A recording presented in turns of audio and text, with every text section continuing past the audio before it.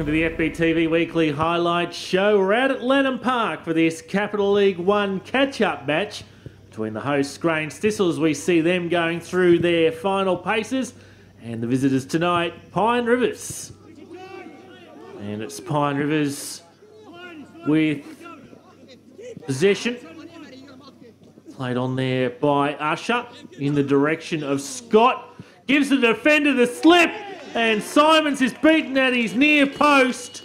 And Pine Rivers have recorded the opening goal here inside the first four minutes. Usher, ball on here for Scott. Simons can't hold on to it. And Scott with the second bite of the cherry puts it away and gives his side a handy 1-0 lead. Here come Grange now. Zinnis on here for Adamson. Adamson now inside the box. Walsh makes the save. Danger not over here for Pine Rivers and Usher. We'll make sure of it at the end of the day. Plays it down the right wing. Now let's have a look at here at Adamson's shot on goal. Walsh makes himself big. And then Domovsky shot straight into the pine of his defender. It's Domovsky playing it on for the advantage of Adamson now. He's in a one-on-one here with Walsh. Adamson rounds the keeper and Grange Thistle have found the equaliser on the quarter hour mark.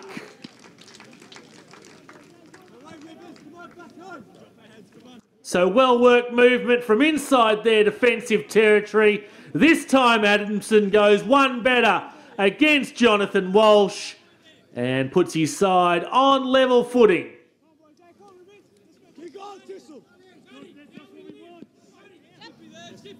Throw in from Reese Hornby. Now Pereira. Once again, Walsh is committed. Had to be accurate. Goal kick. The final results. Lara Lee in conversation there about a potential foul. Walsh sends this one long, deep into his side's attacking territory. Grange eventually deal with it. Domovsky round Roy. Now Domovsky zeroes in on goal, plays it square. Grange Thistle hit the lead midway through the first half and a good little jig there from Stuart Somerville. Dennis Domovsky. Played square for Somerville. He makes no mistake. Pine Rivers caught short again in their defensive unit. But now looking to find an equaliser of their own as was played on there by Moffat. Claims of handball. Not given by referee Lara Lee. And again, another counter attack there for Grange Thistle. Now let's see if we can pick this up. Well, I don't think there was any claims there. There was anything, maybe the arm over the shoulder of the Pine Rivers player. Meanwhile, Grange in another goal scoring opportunity, punched away by Walsh. Domovsky! Not too far away, takes a deflection off a defender.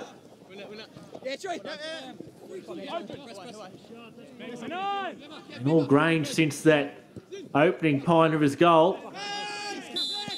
And into the notebook for that challenge. Referee calling out the Grange Thistle player there. Getting back to his feet, surely, but slowly. Chance here for Pine Rivers just before half time. Simons attempts to punch away, hacked away in the end. Usher will get it here for Pine Rivers. Will be Grange who perhaps find a goal here. Somerville. Somerville buys himself some room. Great little finish there from Stuart Somerville. And the yellow card's been dished out as well for dissent against Tom Usher, it looks like. So Stuart Somerville doing it all himself here. Across the face of goal. That'll be a goal of the month contender. Walsh is left flat footed. And Grange Thistle take a 3 1 lead into the half time break. Early on in the second half, Piner is looking to fight back once more. Usher. Now for Bernardi. Loops one in the direction of the far post.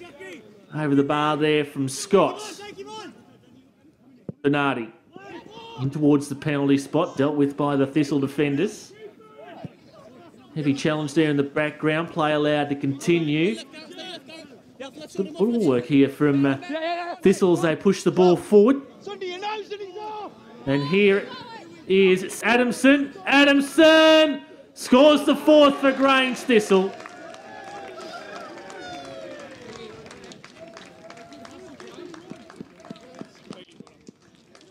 Once again, from inside their defensive territory, Pereira on for Adamson. He's pretty much going to create a one-on-one opportunity here with Walsh. Chris Neil Roy comes at the last minute to try and save the day. He's unable to do so. And Grange Thistle comfortably ahead now. Freestone. Edward leaves it for Bernardi. And Smith can't put that one away.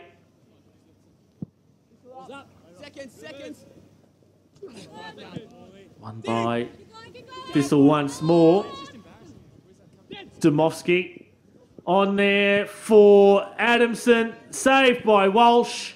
And Pine Rivers clear their line.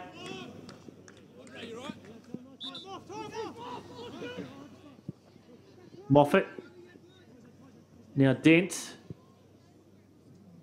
Plenty numbers back here for Thistle. Ball eventually into the box. Freestone.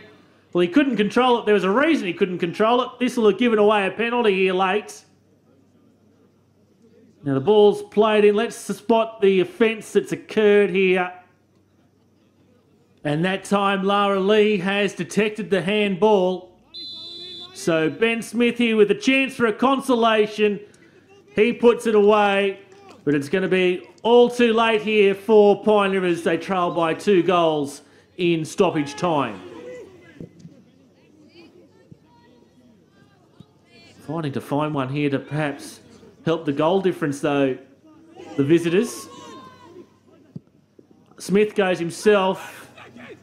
Impotent shot at the end of it, really, and that'll do it. Grange Thistle have won this catch-up match against Pine by four goals to two. So let's take you through Capital League 1 after those catch-up matches. As we just saw, Grange Thistle defeated Pine Rivers 4-2. Brisbane Knights were losers at home to Southside Eagles, while Moggill defeated Taringa. So the table after all that, no change in the top four positions. Grange Thistle move into fifth, Southside Eagles into sixth, while Moggill move into seventh. A bit of a gap developing between them and Brisbane Knights, five points between 7th and 8th. Two catch-up matches in Capital League 2, where the Gap comprehensive 4-0 winners against Brisbane Force, while Acacia Ridge continued their winning ways 3-1 against New Farm. So that means the Gap and Acacia Ridge still on top of the table, three-point leaders over Western Spirit, and then a further four points back to Oxley United. Capital League 3 and a late goal saw Ridge Hills draw with Bardon Latrobe.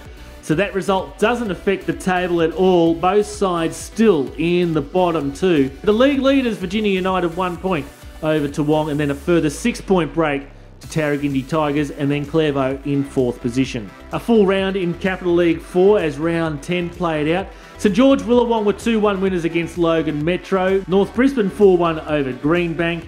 Deception Bay 3 1 against Logan Village. The big scores continued to rack up. 10 0 winners were Bethania against Brighton. Samford Rangers 13 0 over Logan City.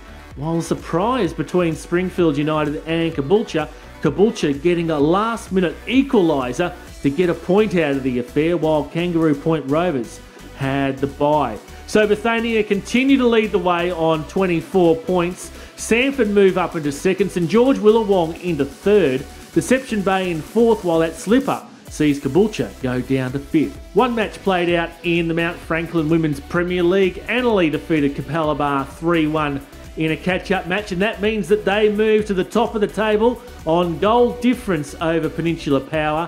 Logan Lightning just one point back, so too are Mitchelton, and a five point gap between fourth and fifth place, those top four really clearing out at the moment. So next time on FBTV over the coming week, what a beauty this is going to be. Looking forward to this one. It's round five from the Westfield FFA Cup. It's a blockbuster at Heath Park as Eastern Suburbs host the PlayStation 4 NPL Queensland Brisbane Strikers. From the Flight Centre Premier League next weekend, Eastern Suburbs again at home, this time to Peninsula Power. On the highlight show, Capital League 1 action. Wolves hosting Brisbane Knights, and from the Mount Franklin Women's Premier League, it's round 10 action, The Gap and Olympic FC.